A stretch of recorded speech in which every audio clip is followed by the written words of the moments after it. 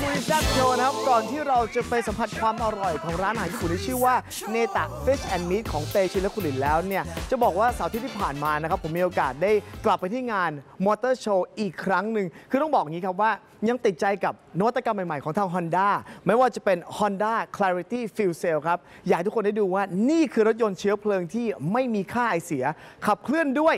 ไฮโดรเจนครับคันนี้สุดยอดมาก แล้วก็จะมีพาหนะส่วนบุคคลเพื่อการเคลื่อนที่รอบทิศทางนะ จริง ๆ แล้วก็พัฒนาต่อยอดจากเทคโนโลยีของหุ่นยนต์อัจฉริยะที่มีชื่อว่า Asimo เจ้าตัวนี้เรียกว่า Unicup Beta เนี่ยตัวนี้แหละครับ Unicup Beta นั่นเองนะ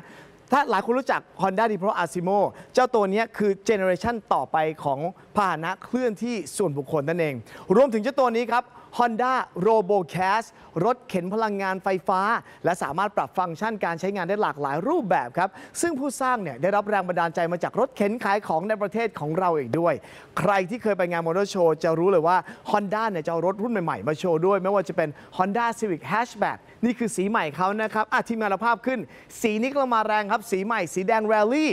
รวมไปถึง Honda BRV Sport Package นี่คืออีกหนึ่งรุ่นที่น่าใช้มากในเมืองนะครับ แล้วก็รวมไปถึง Honda Brio Amaze ใหม่ Black Sport Special Edition เขาเรียกว่าวัยรุ่นยุคใหม่หรือว่าคนที่เพิ่งเริ่มทำงาน First Jobber เนี่ย โดยเฉพาะหนุ่มๆเนี่ยจะชอบสีนี้มากเลย เอาอย่างงี้ เดี๋ยวจัดรายการเสร็จเมื่อไหร่ อยากจะให้ใครก็ตามที่มีสามีแล้ว แบบน้องเบนซ์ให้พาสามีไปดูนะครับ มีมากมายหลายนวัตกรรมที่บูธ Honda หรือว่าไปดู แล้วแต่เลยคุณเลือกเอาก็แล้วกัน แต่ว่างานจะมีถึงวันที่ 8 เมษายนนี้เท่านั้นนะครับ